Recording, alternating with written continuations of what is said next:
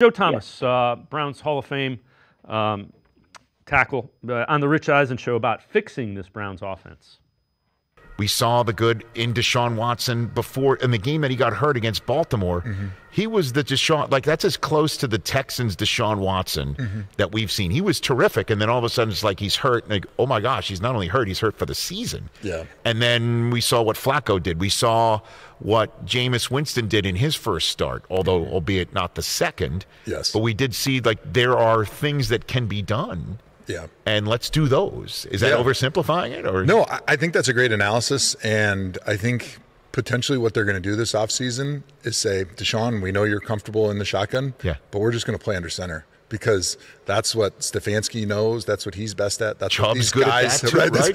That, it just opens up so much more that you can do in the rushing game yeah. when you are under center because when you line up in the shotgun, defense immediately has that checklist in their minds of things you can't do anymore. Yeah. Because the running back's not right behind the center. So they have so much of an easier time to be able to read and react when you do line up in the shotgun because you have a much f- fewer things in their menu of run plays that you can do. And so I think they're probably just going to they they haven't told me this, but I'm I'm thinking like you are like hey, sorry Deshaun, you're just going to have to learn to play under center because that's what we're going to do and we've proven we saw last year. Yeah. You this is just not an offense that's good enough to play out of the shotgun all the time. We need to go back to doing the Stefanski stuff. Yeah, and to that point, eh, you know, the the thing is, we talk about offense and offensive scheme. Stefanski understands how to fix things in his scheme that are, you know, he knows where all the pitfalls are. If this happens, it's because of this. They don't know that. It's clear they don't know how to fix the mess that is their offense yeah, he he gets the wrinkles. He gets how to expand off of it. He gets how to re, you know reduce parts of his offense. Right. He knows how to throw parts out and adjust and add and take away.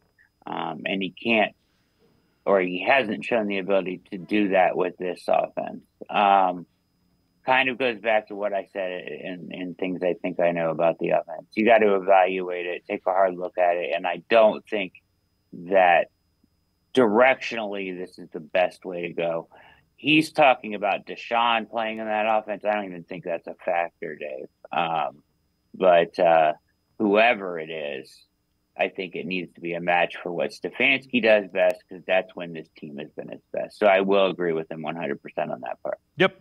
And again, I think he's probably trying not to let the cat out of the bag or, you know, if you if you had him on a lie detector test, he probably doesn't think Deshaun's going to be playing under center in this offense.